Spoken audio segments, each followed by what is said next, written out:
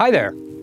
I'm here with the Giant Reign E And before we go into the nitty gritty details of this bike, let's first talk about what it is, what it does, and who it's for.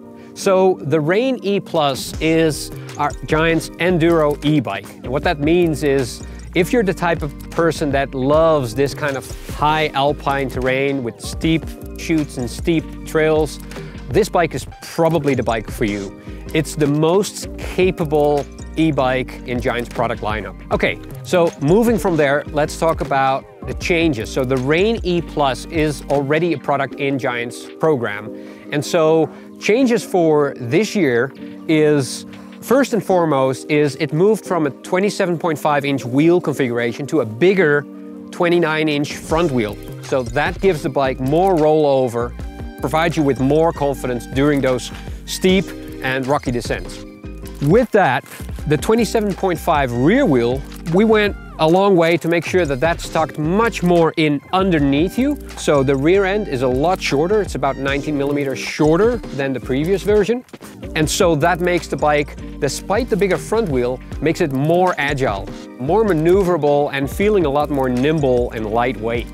Despite the huge capability, and the huge benefits of the rollover capability of the 29er front wheel. It's actually more maneuverable and more easy to handle, more easy to snap around tight corners than the previous version. So huge improvement there. The geometry basically of the wheel, both on the front with the 29er front wheel and the rear with the shorter rear center. Next up in the geometry is the flip chip.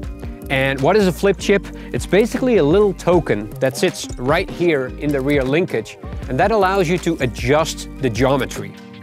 So with this bike, we wanted to keep the very predictable, very stable, and, and actually the, the geometry that we were very satisfied with with the, the, the current Reign, but also offer the option for a much lower, slacker option that makes the bike even more confidence inspiring. So that's really the mode you put it in when you turn it into the really slack mode.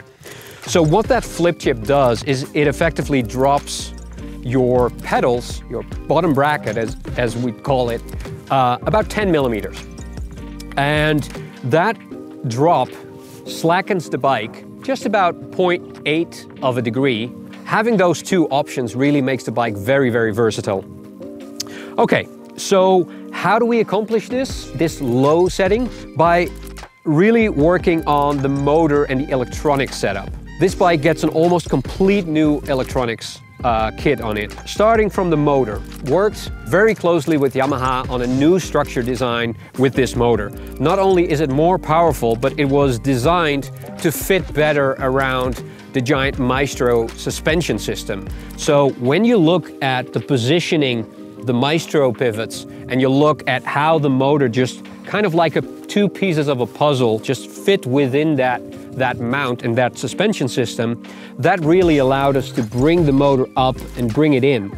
So with a more compact design, we created between 34 and 37 degree of more ground clearance. Depends a little bit on uh, the size and the in the in the range. So about one and a half inch um, of, of more ground clearance. That is, that is huge, of course. That provides a lot more uh, capability in rough, big rollover kind of situations. And so that allowed that low, extra low position to be even possible. Then moving up to the controls, that's really where, from a user experience, we have made the biggest changes on, on this bike. First up is the Ride Control Go is what it's called. And that's this nifty little integrated on-off button that's in the top tube. And pressing that will allow you to control the bike just by one press. And basically, that's all you need to do. It starts up in an automatic support mode that's using Giant's very advanced uh, six sensor algorithms basically to just get you uh, set it and forget it support mode. There's also manual modes and that brings me then to the control unit uh, on the handlebar, so uh, the remote control. And that is a new, what we call the Ergo 3.